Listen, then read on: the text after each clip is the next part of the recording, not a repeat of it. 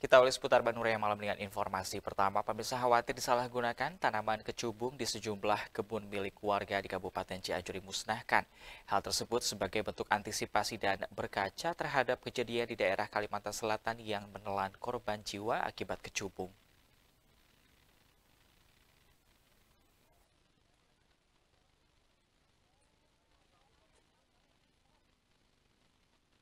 Sebagai langkah antisipasi terhadap penyalahgunaan tumbuhan kecubung, pemerintah kecamatan dan desa setempat beserta TNI Polri musnahkan tumbuhan kecubung di sejumlah kebun milik warga sekitar di Kampung Nyalindung, Desa Ciandam, Kecamatan Mande, Kabupaten Cianjur.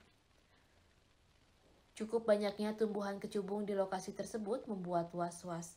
Setelah berkaca mengetahui kejadian di wilayah Kalimantan Selatan yang menelan korban jiwa akibat dari penyalahgunaan tumbuhan kecubung.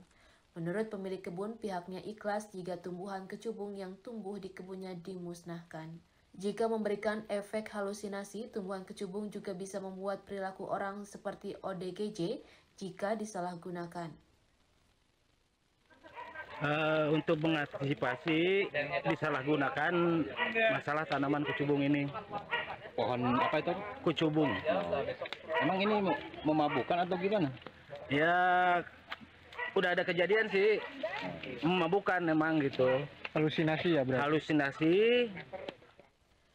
Sementara itu menurut Kasih Trantip Kecamatan Mande mengatakan hal ini dilakukan untuk mengantisipasi penyalahgunaan tanaman pohon kecubung karena memang sangat berbahaya.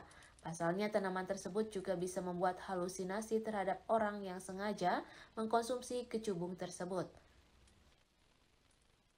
Memang kita lihat dan kita dengar bahwasanya ada sisi uh, untuk obat mengobati. Oleh karena itu barangkali nanti kalaupun masyarakat masih menginginkan uh, bunga atau daun daripada kecubung untuk pengobatan bisa konsultasi dulu dengan pihak-pihak terkait, khususnya daripada dinas kesehatan.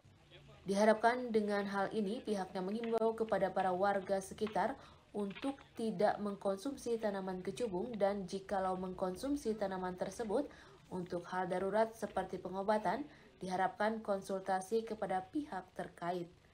Heri Setiawan, Bandung TV